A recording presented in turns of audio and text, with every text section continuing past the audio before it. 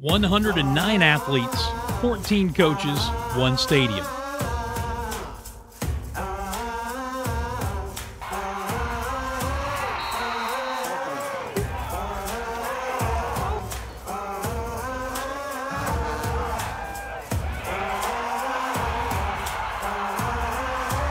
One hundred and nine athletes, fourteen coaches, one stadium, and the Paladin fans.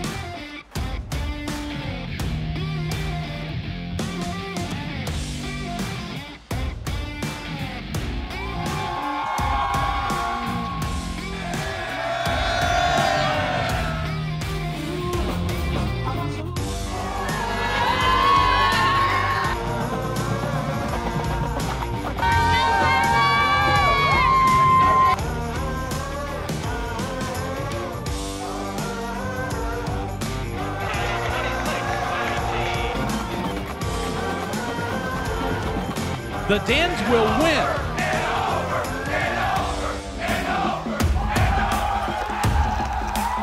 Come experience game days with the Paladins.